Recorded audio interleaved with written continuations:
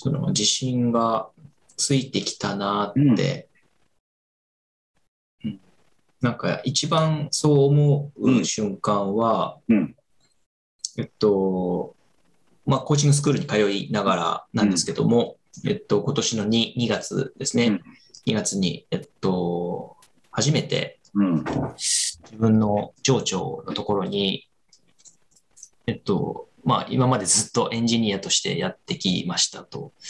でも、本当に自分がやりたいこととか、会社のために僕のいいできること、いいことを生かすのは、対人サポート、対人支援、そういった人を支えるということが、僕は本当にやりたいことなんです。えー いうのを伝えた瞬間が、うん、あなんかやっぱり言えたっていうことがすごく嬉しかった。本当だよね。すごいね。上司もびっくりしたろうね、急にそんなこと言ういや、びっくりしたと思います。あの、そう、正直言うと、その上司から、え？って最初、時間とくださいと言ったんですけども、まず大体時間くださいの段階で上司はビビるからね、こいつやめんのあそうそうそうそうなんこいつやめんのかそうそうそう。あの、おっしゃる通りです。よかったよ、お前辞めるって言い出すんかと思った、ずっと。ね、けもうこいつ結婚してるしな、あと何がイベントなんだろう、もうやめるしかねえなってさ。本当。えそれでなんかそれ伝えてどうなったんですか？それで伝えて、でですね、まあ、あその時初めてコーチングスクールに行ってるって話をしました。うん。うん、で、やっぱりこう、まあ、規模として会社としてはまあ大きいんですけど、それなりにこう辞めていく人もいるし、辞めていく人だけじゃなくて、なんか、うーん、まあその人の課題もあるし、うんえっとまあいろんなあ要因はあるんでしょうけど、やっぱりコミュニケーションの質をもう少し改善できるポイントがきっとあるはずだと。そこに僕はあーなんか活路を見出して、えー応援したいみたいなことをですね、言い切りました。わあで、恥ずかしい。なんいやだって別にあれでしょそういうなんかポジシションがあるわけでもなくでしょ、そうですそうです自分はそれがやりたいんだと。そうです。でで、まあ、やりたいだけじゃないんですと、その5年後、6年後、こんなことができるといいというふうにちょっと話もしてですね。うんで、えーまあ、その話をしたら、あの、まあ、上長から、おそうなんだと。うん、ただ、まあ、会社はね、お前はエンジニアとして育てたいし、それを引っ張ってほしいとして、ここの部署にも来ているし、えこれからも活躍してほしいって思ってることは、まず理解してほしいよと。そりゃそうだね。うんただし、そのお前が掴んできた、いろんなキャッチしてきたみんなの声っていうのは大切なんだということがすごくよくわかりましたと。で、まあ、うん、本社機関っていうんですかね。まあ、そういうとこに少し話してみようと。きっと会社も課題だと捉えてるはずだと。うんそれがなんかどんな形になるか、明日からお前がエンジニアを辞めて、うんその社内コーチとかなんか対人サポートみたいな部署がないし、そんなことやるとこはないけども、きっと何か活路を見出せるかもしれないと。あで、時間を本社と調整してくれて、時間を作るから、ー入り口。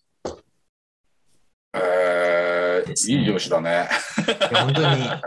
話をしてよかったなって思いました。ねえー上司の立場からすると、どうしてそういうことをしてみようと思ったんだと思います？そうだね。うん、まあ、恥ずかしながらうん。も、最後、まあ、訴えているみたいな時には少し涙ぐんでいた自分もいたし、でも、すごく僕は本気でそう思うんってたしう、ん。それがやっぱり、で、そのエビデンスは何かって言ったら、俺はこのスクールに行って、トレーニングを積んできたし、その中で使えるエッセンスっていうのがあるんですというのが、えっと、まあ、伝わったんだと思うんですよね。うん。で、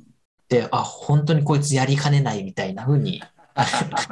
そっか。ね。だしあれなんだもんね。やっぱ事実としてちょっとねコミュニケーションが足りなかったり一人で悩んだりして辞めちゃうだのねパフォーマンス辞めないまでもパフォーマンス発揮できないだのね課題としてはあってね。でそしたら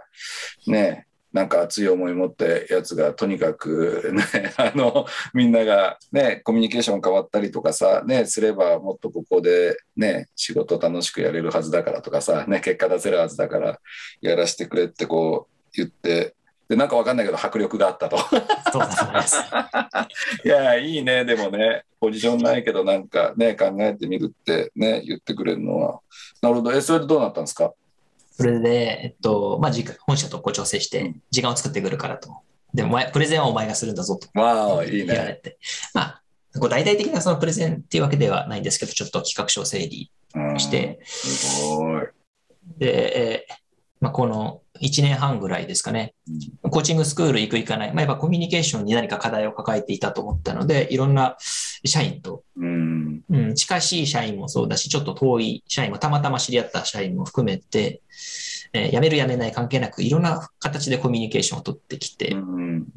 やっぱりこの会社の一つ課題としては、コミュニケーションの質に少しまだ改善ポイントがあると思ってるんですと。うん。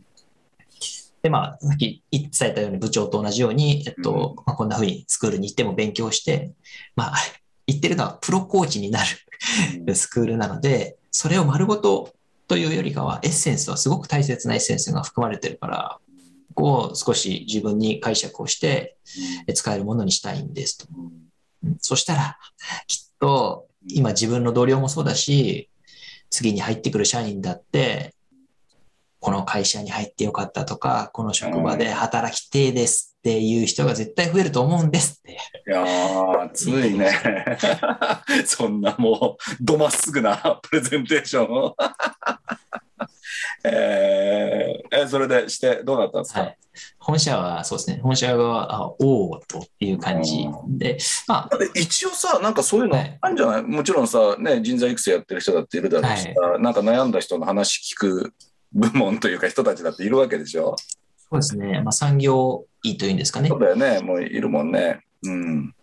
で、そうかというふうに思っていただいた一方で、今、大地さんおっしゃるように、うんいろんな OJT だと。教教育体制っていうのは仕組みは揃ってると。うんただ、機能ししていないという事実は、やっぱ本社もこう掴んでるというかですね、うん。実態としてやっぱり、まあ、元気がない人もやっぱ多い。のはキャッチしていて、で、なんとかしたいというのもあるけど、日々のやっぱ忙しいところに集中してて、そこにあまり、えー手をつけられたかってなかったので、えー話を聞きたいというふうに向こうもうん。言ってくれて、そう。そこからですよね。そこから、まあ、あー最初はそうなんだねという話だったんだけど、うん何回か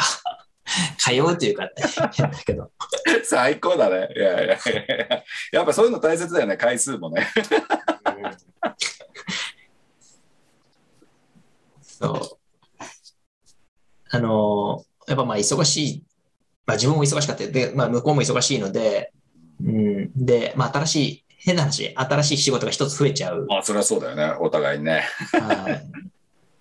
だけど、まあ僕はもう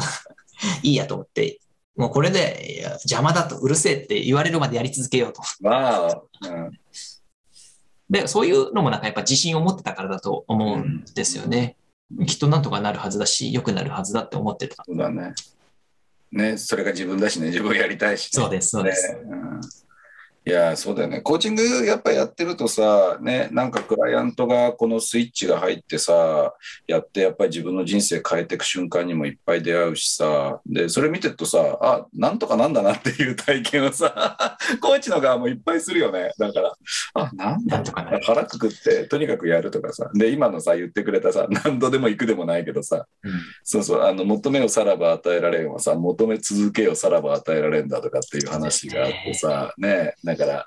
だから、叩き続けよさらば開かれんでさ、だからまあ、とにかく、叩き方を少し変えた方がいいかもしれないけど、でもね、やっぱ叩き続けないとね、やっぱ一回で諦めてたら開かないもんね。えーそれで何回か行って、結局どうなったんですか？結局ですね、えっと、まあ本当につい最近なんですけど、えっと、まあ、コーチング基礎講座という形で、うん、半年間、ちょっと試験的に。すごーい、社内で。やってみましょうとやったー公公認プログラム。すごいね。まあでもこれからね、きっと課題がね、ワンさんが出てくる。いやいや、いいじゃん、いいじゃん。やっぱさ、それに乗り越え、ね、それ乗り越えながら、やっぱりね、いいものだしさ、ね、なんかその現場で一緒にやれて、で、なんか、あの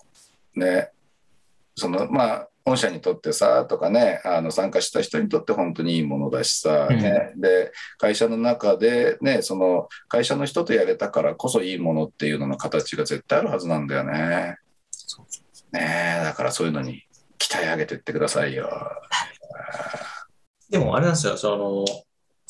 会社の中でもコーチング研修っていうのは管理者でとかマネージャーの人は受けててですね、で、まあ、それは機能してないわけではないんですけども、やっぱり僕の 解釈としては、えっと、そこのスキルを身につける土台の部分、まあ、自己基盤とかっていう表現をしましたけど、まあ、ここを、えっと、整えておくから、このスキルの部分が生きてくる。うん。なので、若いうちにこの基盤を整えられるようなという意味で基礎講座って。いいね、いいね。いや、そっかそっか。何、基盤って言ってんのって何ですか？何が整えられるというの？若いうちに。そうだな。うん、えっと、なんか一言でまだ表現できないんですけど。うん、一言じゃなくていいよ。うん自分自身に気づく力みたいなのそうだね、そうだね、そうだね。だと思ってます。本当だよね。なんかさ、いやいや、本当だよ。あのー、違和感をさやっぱり感じたらさね違和感っていうのは自分の無意識がさこれじゃないんだとかさね違うものなんだってこう言ってるとかさこの場所じゃないんだこの人じゃないんだこれじゃないんだっていうのが違和感だけどさなんかそういうものにこの気づくさセンサーがないとさ結局さね何か変えようっていうふうにもなっていかないからさだからなんかね自分自身が感じてる違和感もそうだし逆にこのしっくりきてるとかいい感じとかさねで、やっぱ自分の声を聞くみたいなね、あの人の話聞くのも大切だけど、自分の声を聞くとかさ、自分のなんか感覚を察知するっていう訓練をさ、やっぱ受けてないからさ、それは絶対した方がいいよね。うん。うん、いや、素晴らしい、素晴らしい。コーチングはそれに対する問いかけだもんね。あなたの心は何て言ってるとかさ、あなたは本当はどうしたがってるっていうのさ、頭じゃなくてね、心の声聞こうだから、いや、素晴らしくいいね。うんそうですか。いやいやいやそういうのを会社の中で一エンジニアが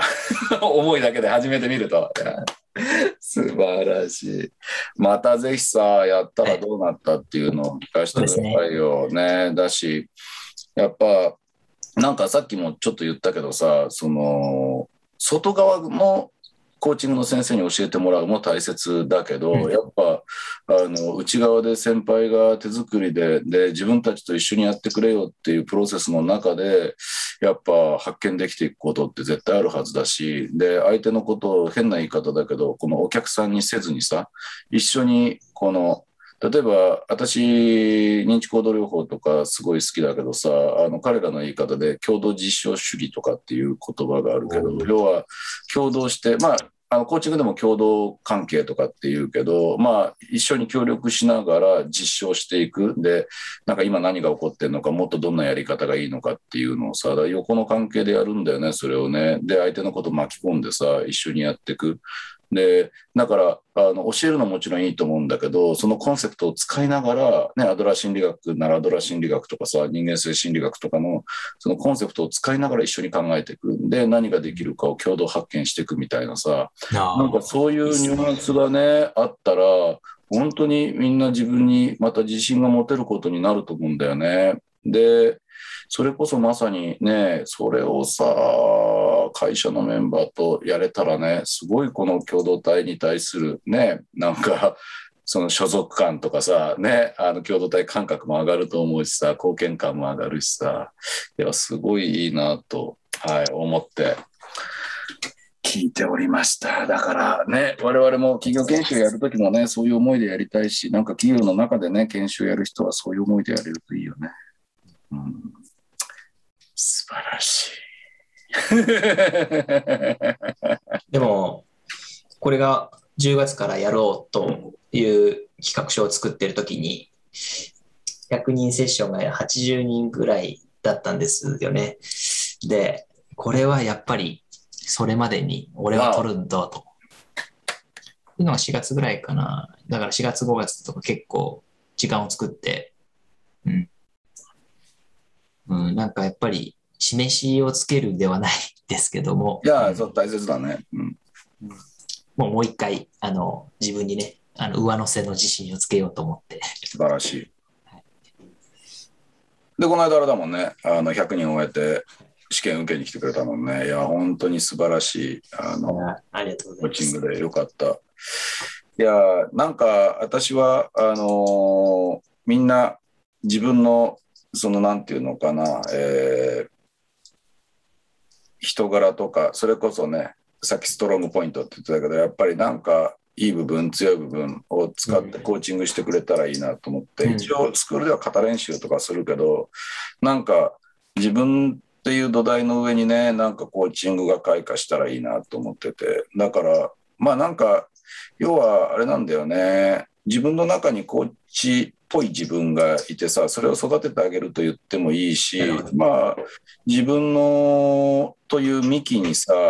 ちょっとなんかね、余計な枝は払ってさ、これはやめとこうみたいな枝は払って、でも幹は大切にしながら、そこにちょっとコーチングのやり方を継ぎ木するというかさ、なんか別に丸ごとコーチにしちゃおうとすると偽物っぽくなるんだろうけど、なんか自分のね、思い、それから自分の相手に対する関心、ね、で、自分のコミュニケーションスタイルをなんかこううまく活かしながら、なんかコーチになってってくれたらいいなと思って、で、そういう意味ではすごくなんか穏やかな、あのね、